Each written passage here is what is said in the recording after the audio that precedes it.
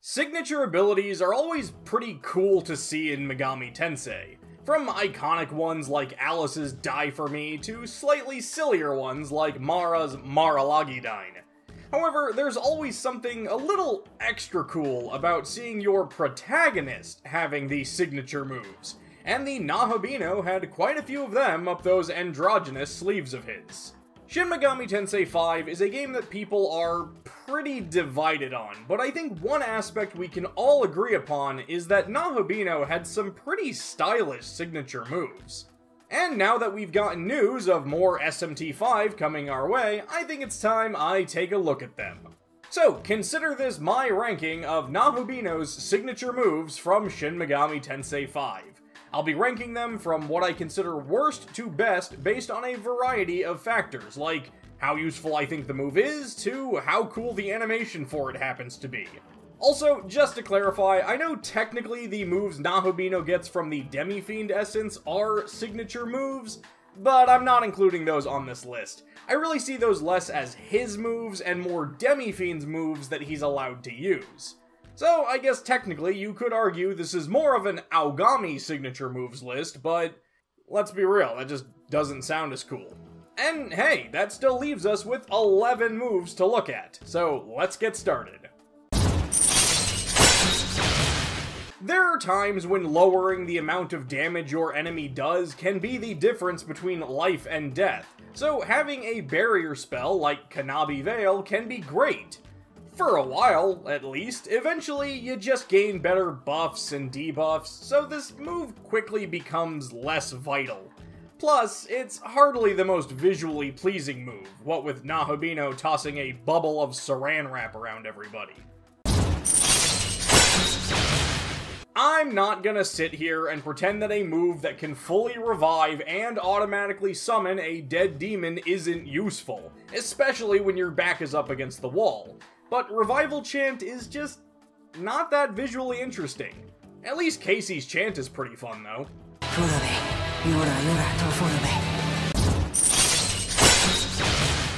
You don't really get too many moves that make the Nahobino seem sinister, but I like the vibes that Profaned Land gives off. It's the only dark-based spell on this list, and I'm always a fan of adding the poison element to things. Unfortunately, I have it this low on the list because it's really just not all that useful. If you got it earlier in the game or it dealt piercing dark damage, there'd be a lot better real estate in these profaned lands. Ruinous Thunder is, again, cool, but not all that useful. There's no denying how awesome it is to see Nahobino summoning that lightning bolt straight from the clouds above down onto the head of a doomed opponent. But, I mean, you know, it's just kind of provided that that opponent isn't immune to electricity. Sakanagi is a tough one for me because this is undoubtedly a really cool and useful ability. It deals almighty damage, and it relies on Nahobino's strength stat over his magic. This move can be a lifesaver depending on your build, and I know I relied on it quite a bit. Sakanagi has saved my bacon in this game quite a few times, but at the same time, pretty much everything it does, we will see done better by the end of this video, and the move just doesn't have the visual flair to help boost it much higher.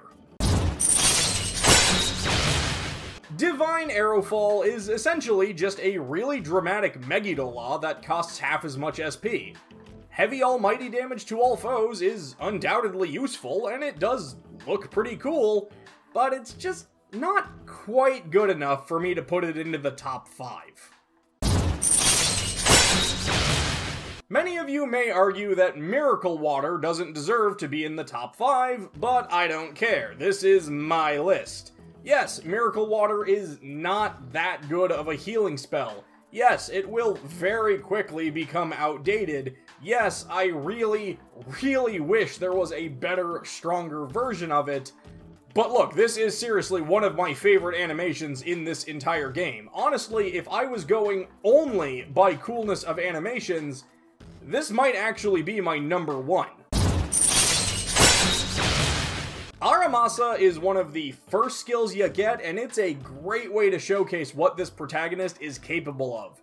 I mean, it's practically your own version of Yoshitsune's legendary Hassou Tobi. You get it so early in the game, and it costs so little to use, I see this move as a staple of almost any player's early arsenal. Plus, yeah, it looks cool as heck, too.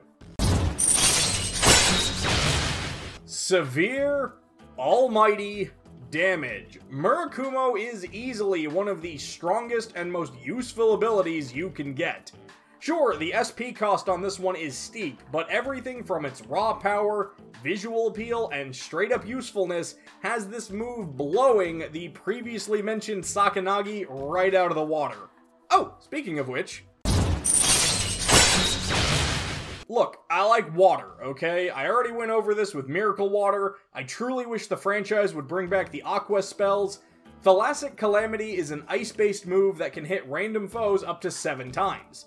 Admittedly, it's not the most powerful, far from it, but the ocean heeds his call. It's a giant tidal wave that rains down on your foes, and look, I don't care. I love this move. And at number one, come on, Wrath Tempest is like the move we tend to associate with the Nahobino. From the iconic finger poses to the swirling vortex of physical based death, this is essentially an upgraded Aramasa, which makes it incredibly useful. It's powerful, it looks cool, and it is so iconic to the character. If you tell me Nahobino's signature move, even though he's got 10 others that we've already discussed, this is the one that comes to mind for me. It's well worth the top spot here and well worth having. Also, just throwing this out, if Nahobino had gotten into Smash Bros., come on, this totally would have been his final Smash. Alright, and there you have it, the 11 signature moves of the Nahobino from worst to best, at least in my opinion. If you disagreed with any of my choices, let me know what your thoughts are down in the comments below. What would your number one choice have been? Of course, based on everything we just saw from that Shin Megami Tensei Vengeance trailer, it's very possible that he's gonna have some brand new unique abilities to use in this upcoming title. But I think that's gonna wrap up today's video. Thanks so much for watching, please consider liking and subscribing to see more Megami Tensei related content, and until next time, take care.